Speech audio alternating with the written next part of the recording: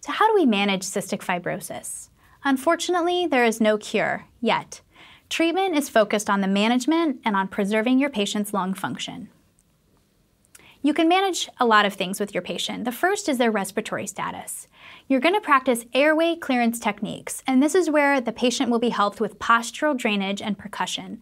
They'll go under chest physiotherapy and treatments to help shake up those secretions.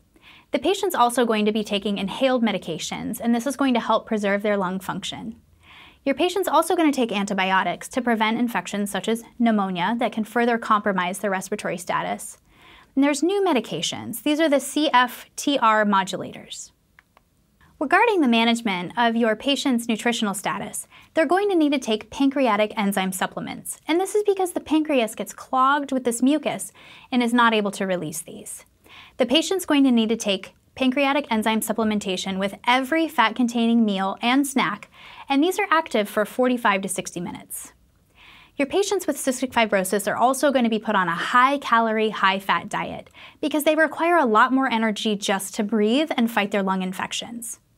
The energy needs of people with cystic fibrosis are estimated to be one and a half to two times the needs of those without cystic fibrosis. So a high calorie diet, high fat, and about 40% of their total calories from fat is generally recommended. The next involves preventing infection. This involves hand hygiene, also avoiding secondhand smoke, avoiding sick contacts. Patients with cystic fibrosis should get their annual flu shot, and eventually the patient may need a lung transplant. Lung transplantation is the only definitive treatment option for patients with cystic fibrosis with end-stage lung disease, but it's still not a cure because the defective gene that causes the disease is found in all of the cells of the patient's body, with the exception of their newly transplanted lung.